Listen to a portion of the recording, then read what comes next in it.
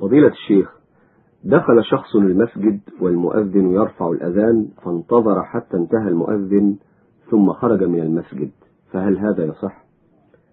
روى مسلم عن أبي الشعثاء قال كنا قعودا في المسجد فأذن المؤذن فقام رجل من المسجد يمشي فأتبعه أبو هريرة بصره حتى خرج من المسجد فقال أبو هريرة أما هذا فقد عصى أبا القاسم.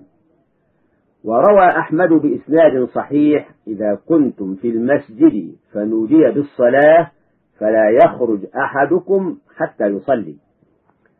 وروى ابن ماجه أن الرسول صلى الله عليه وسلم قال من أدركه الأذان في المسجد ثم خرج لم يخرج لحاجة لا يريد الرجعة فهو منافق قال العلماء إن الخروج من المسجد بعد الأذان لعذر وفي نيته الرجوع لصلاة الجماعة لا حرمة فيه ولا كراهة.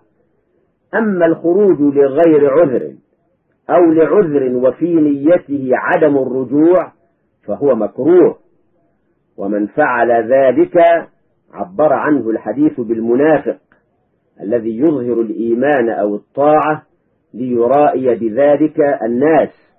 ويخفي الكفر أو العصيان. وهذا مذموم مع العلم بأن عصيان الرسول صلى الله عليه وسلم كما في قول أبي هريرة ليس دائما حراما فذلك يكون فقط في الواجب. أما عصيانه في السنة فهو مكروه فقط.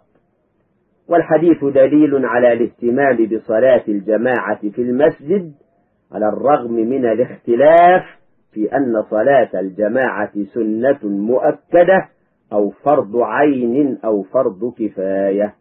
والله أعلم.